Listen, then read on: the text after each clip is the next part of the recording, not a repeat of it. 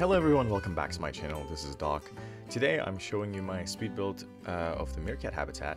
Now I had a lot of fun building this, it also did not take too long, so this video will go out before my entrance speed build. That one took a very long time and I'm really sorry it's not gonna go out for a bit because I need a lot of time rendering it. I do not have the perfect specs for the software I'm running, it's DaVinci.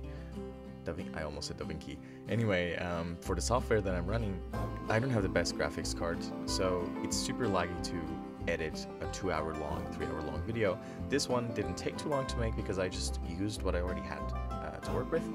I already did the foliage before, like randomly I placed some dry um, flowers and some dry trees and rocks in front of the entrance plaza and I just it was an empty space. I could I had two options, either I just leave it empty or I make use of it.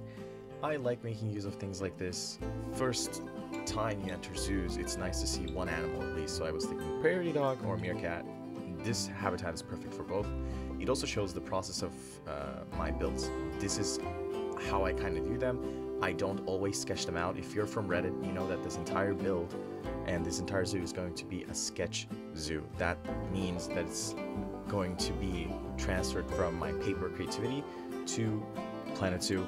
It is a bit of a challenge because not everything transfers over from paper sketches to um, conceptualizing them in Planet Zoo, but still, I think I did a good job, and it's even better than the sketches I made. So, I'm, at least I'm proud of it.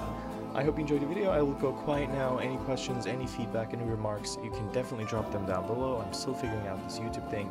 I have taken into consideration all of the feedback I've gotten since the last two videos. But there's a huge mosquito in my room. It's ew, ew. Sorry, guys.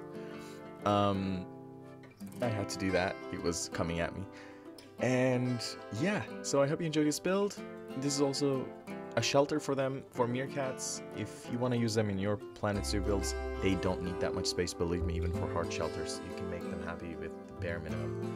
Um, yeah, hope you enjoy the build, and let me know what you think.